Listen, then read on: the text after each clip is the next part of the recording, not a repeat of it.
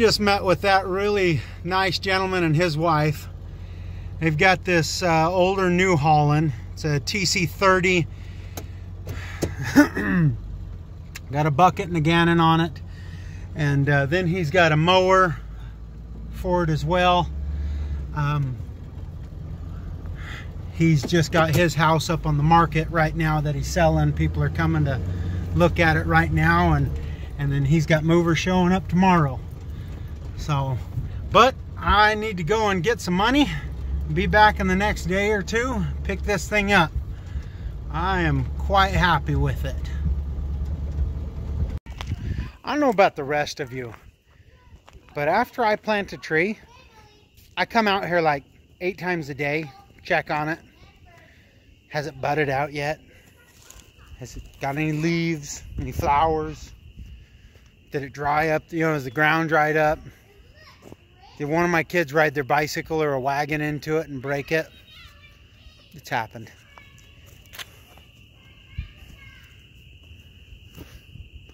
I'm out here with them right now. I like standing in my trees. Try and think five years from now, what will this look like?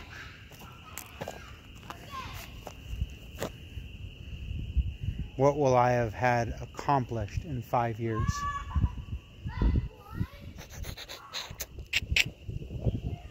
That's, I don't know, that's what I think about. Um,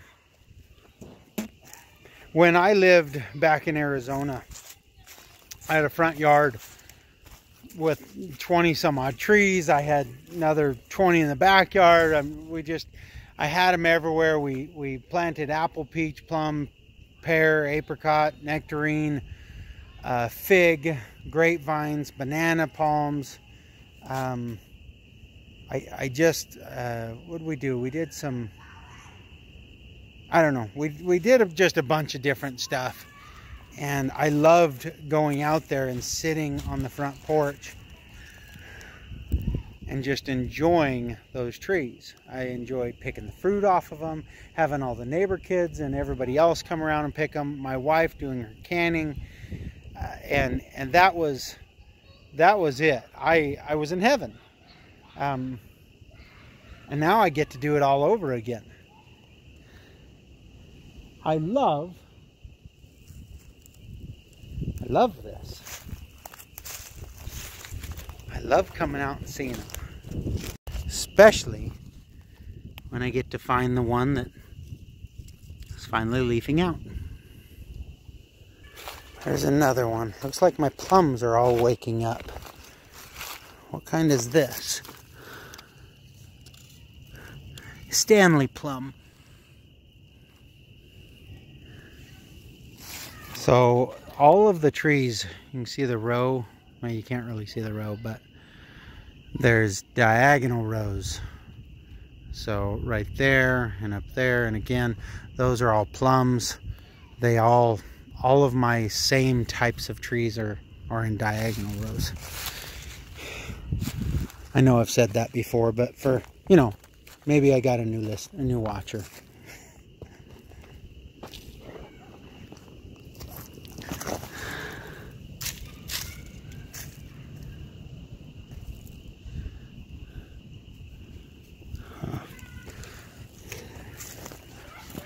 And this is me. I I I don't know. I watch uh, I watch another guy Steven. Steven? Is that his name? He goes out to his orchard and I see him walking around and listen to all of his birds and uh, picking apples and he takes a couple of bites and goes nah this isn't a good one. And he throws it down. And uh, I, I can't wait to be able to do that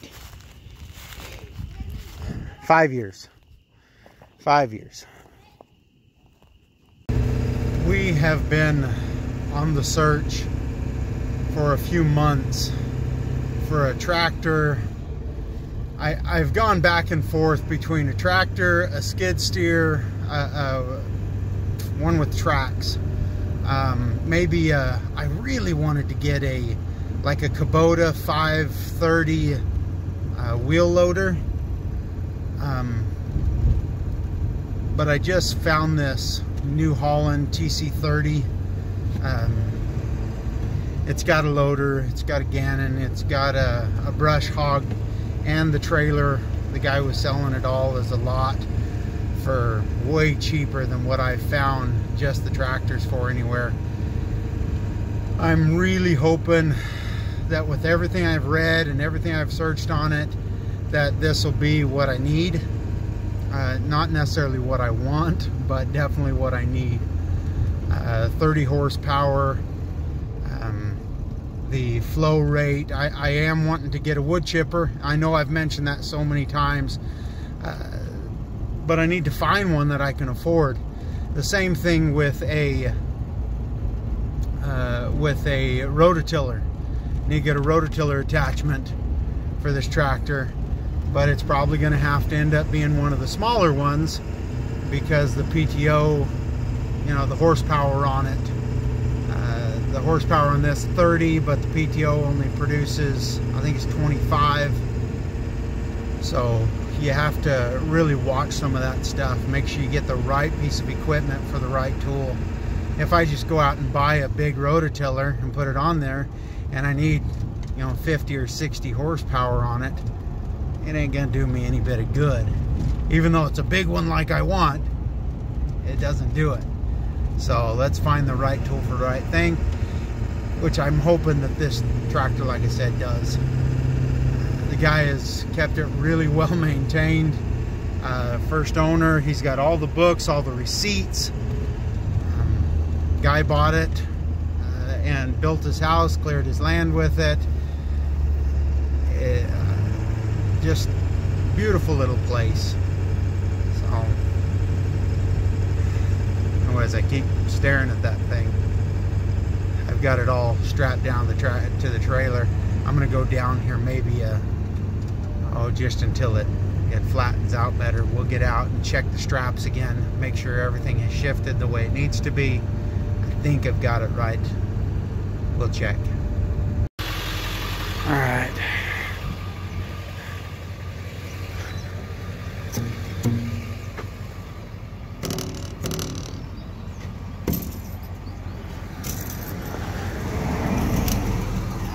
Oh, there we go.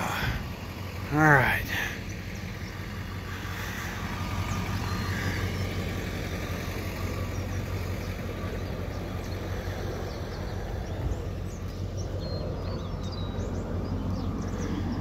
lights work on it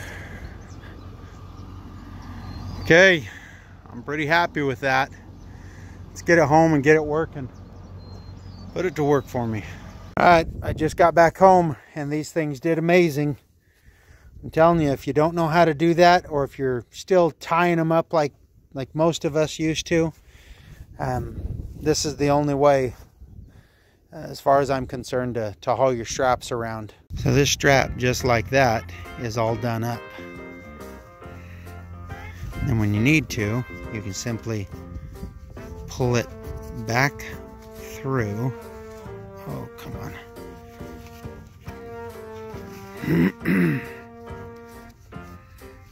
there we go. Pull it back through.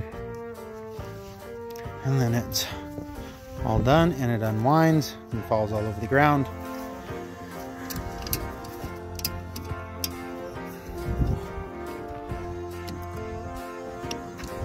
Come on.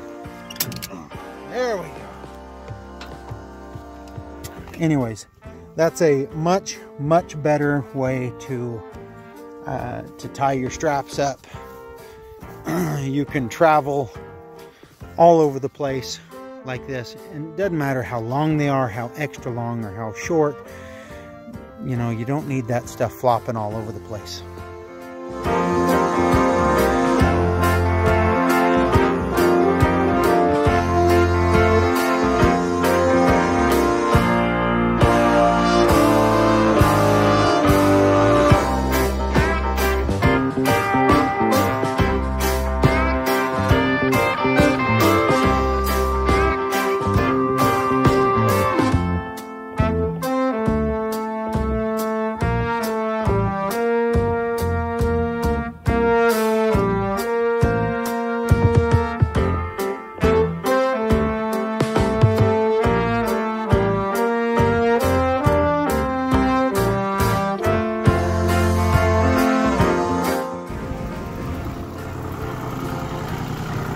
Go drop that stuff off back here. And then we'll get that trailer unhooked. Oh.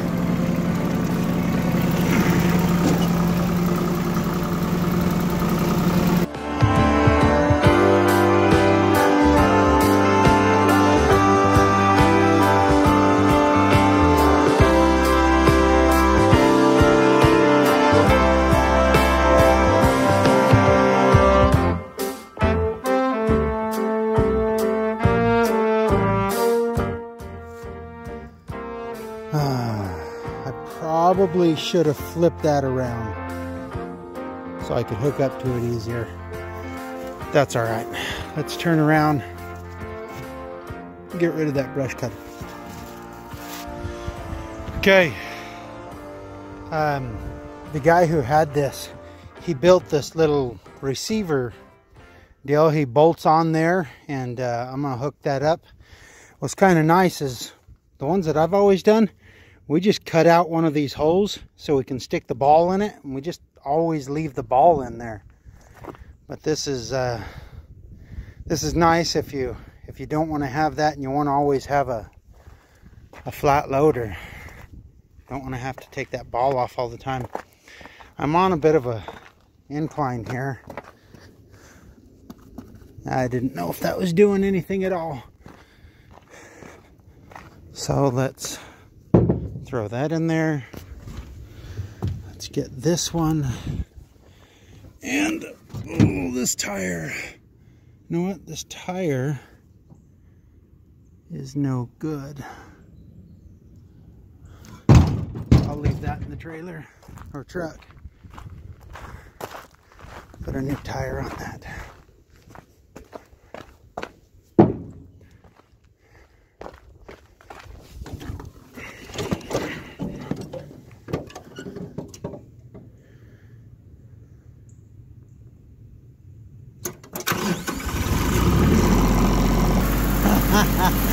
Oh, gonna be fun. I'm gonna jack this thing way up because it's quite high up in the air.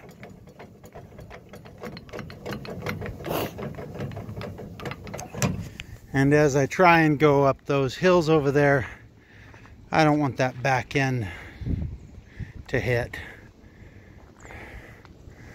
So let's put this away.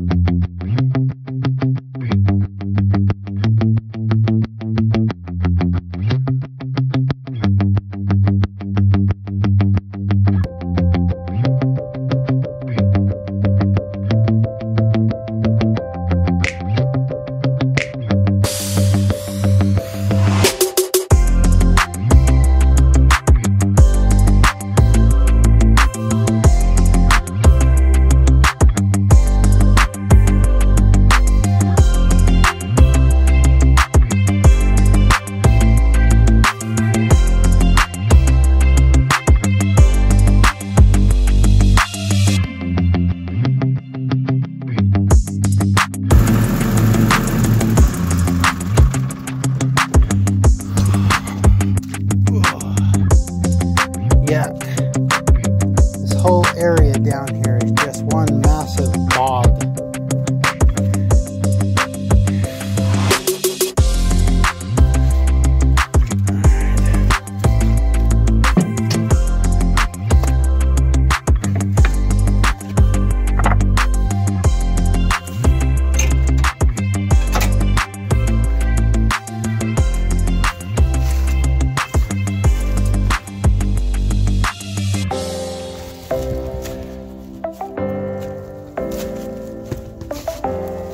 Now you should put one under each side, but I'm okay with this.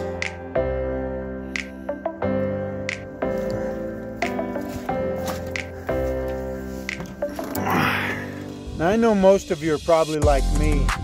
After you've strapped your, your equipment down, we take our, our stuffs, we bring it around, we tie it in knots. That that's a horrible way to do things. How often have you lost those straps? They start fluttering in the wind. You have to pull over, you have to fix them, or worse, they go back underneath the tire and then this thing pops and breaks, it explodes, um, cause you all sorts of issues, or the strap comes undone, you, you end up losing the strap on the highway. Well, let me let me show you how I do it. I'm to take this slightly bigger than your fist. Then I'm going to roll this up like so. Okay, I've got about two feet here at the end, maybe a little less. I'm going to take that cord, I'm going to make a loop in it, or just, well, let me have do it. Let me think about this for a second. I reach through it, grab the cord, pull it through so I've got a big loop right here, and then just wrap it back over and around this one more time and pull it tight. And then this can sit there and dangle as much as you want. And this is not going to come undone at all. This right here.